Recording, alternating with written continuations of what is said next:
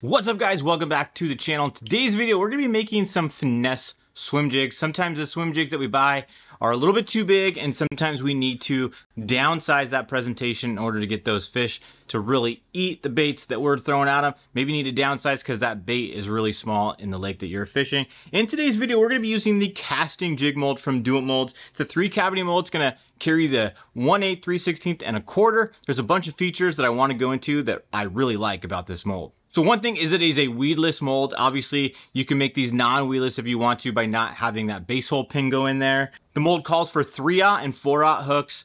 The 3-aught is for the 1 8 and the 3 16th, and then it calls for a 4-aught in that quarter ounce. You can put the 3-aught in all three sizes. Skirt collar is separate from the keeper and it has an actual plastic trailer keeper. I like making jigs that have that keeper already poured in there. Just makes things a little bit easier, takes less modifications, and you're gonna be able to keep that trailer on there a little bit easier. The hooks that we're gonna be using in today's video are the Victory 10886 in the 3-aught size. Like I said, this mold calls for the 3-aught and the 4-aught. We're gonna be using these 3-aught Victory hooks in today's video. In today's video, we're gonna be making the quarter ounce swim jigs. Gonna put that base hole pin in there, and then we're gonna lay our hook inside, just like so. Give you guys a better look at it. And that's all it takes to get this thing ready to go and ready to pour. I like to always make sure that this is flush so that way we don't get any flashing. Another good habit is to warm your molds before you pour. Just simply putting your mold on top of the lead pot with your components inside is good enough to get everything nice and warm inside and it just helps to get more complete pours. I like to leave it on there for maybe 10-15 minutes before I start pouring. Another thing that I like to do is always test to make sure I have a good amount of lead coming out of my pot. And that's just simply testing it Yep, we got a good flow down there. That's all you gotta do is pay attention, make sure you got good flow. So now that our mold is nice and warm, we're gonna go down underneath our pot, get our mold in position, and lift up on our lever, put it in there, let it cool down, and then we'll check it out, make sure it's all complete and looks good. Okay, so now we're gonna open up our mold and check out our swim jig. And as you can see, looks really, really good right there. Nice complete pour. Little tiny bit of flashing up at the top and towards the sprue, but nothing we can't clean up. So we're just gonna repeat that process over again. Gonna put our base hole pin in its slot, get our 3-aught victory hook in place. Just like that, we're ready to go. We're gonna fold our mold closed, check to make sure everything's nice and flush. Next thing we're gonna do, test for flow again. Good flow. Grab our mold, take it underneath, fill up our cavity, let everything cool down, we'll check it out. Once again, open up the mold, go over to our cavity, Everything turned out really, really good. There's our swim jig. Not as much flashing up at the sprue this time. That one looks good. So I'm just going to talk you through some pointers in this section of the video. We're making one of these quarter round swim jigs again. But the keys is having a nice hot mold and making sure your components aren't too cold. The components don't always have to be super hot, but the warmer they are, the better everything is because that lead comes through the top and as it starts contacting everything, it starts to cool down. And if the components are too cold, it will start to solidify that lead. And the reason I always like to check for flow is because sometimes the spout down here can get clogged up. And when you check for flow, you're making sure that that's not clogged up and you're not gonna have not enough lead going into your mold. So you're gonna be able to put your mold down there, have that spout open up, fill up that sprue cavity, and you know that your jig's gonna most likely be complete. All right, let's open up our mold and check out our third swim jig. This one turned out really, really good as well. You can see that bait keeper down there really, really well. And then you can also see all the detail of the eyes. We don't have any flashing around the line tie.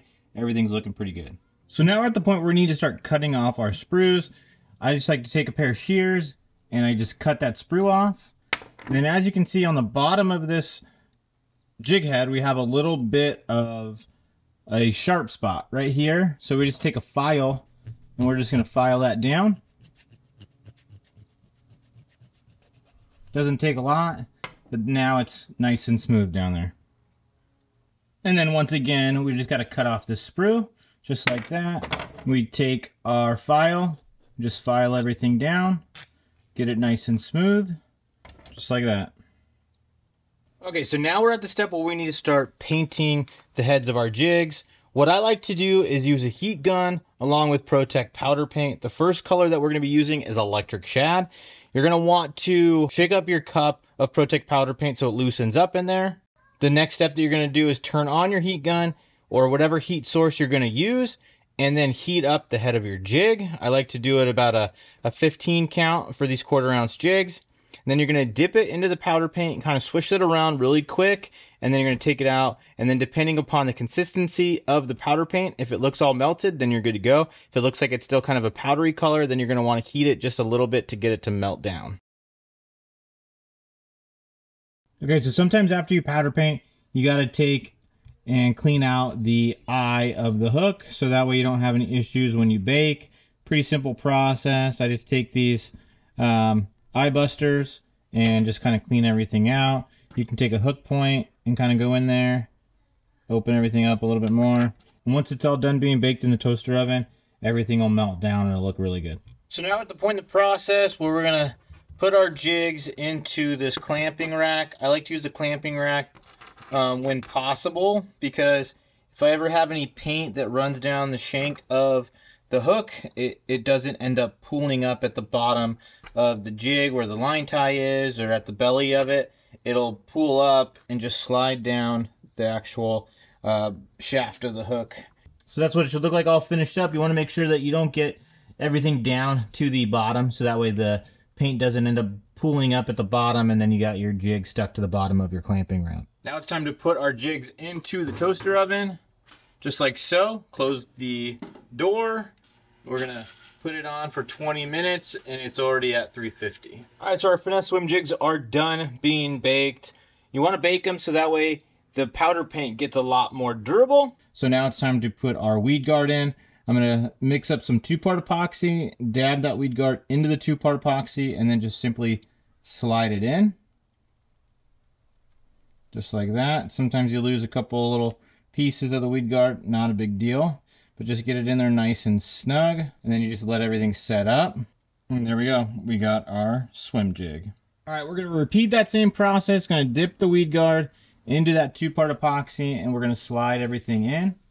Sometimes you gotta kind of twist it a little bit to get it to go in there all the way. And there you have it. There's our white swim jig. Typically, I would go with a clear or a white weed guard, but I'm out of them right now. So we're going to make do with the black. I don't really know that it matters that much, but for consistency purposes, typically I would use white. Now it's time to finish up our swim jigs. We're to take this skirt that I just made up, put the hook point right down the middle, slide it all the way up. Make sure the jig head is in the middle of that skirt. Slide it all the way up. There you have it. Good looking jig right there. Well guys, there you have it. Two awesome looking finesse swim jigs. Here in a second, I'm going to talk to you guys about a couple of adjustments I would make to these before I actually go fishing them. So as of right now, these things are ready to go. They are ready to go out and fish. However, there's a couple things that I want to talk about prior to you just making these up and going.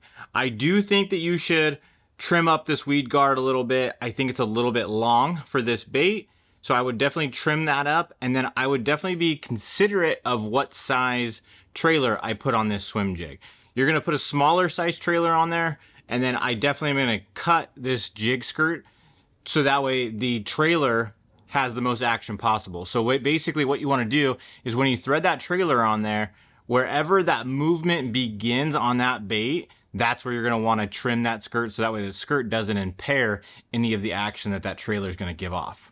One more thing that you might consider is basically holding this jig from the bottom part of the skirt and actually cutting the underneath side of the skirt. It just thins that skirt out even more and just makes it even a little bit more finesse. Well guys, there you have it. Those are some finesse swim jigs with the casting jig mold from Do It Molds. Again, there's gonna be a list of everything that I was using in the video down in the description, along with my affiliate link that's gonna send you directly to the It Mold site. All the stuff that I have listed out is what I want you to search on the Do It Molds website, so that way you have the easiest time finding all these different components.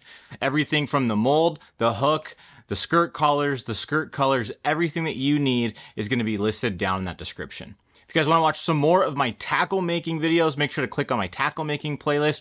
Or if you want to see me build some football jigs, make sure to click on that video that's on the screen right now as well.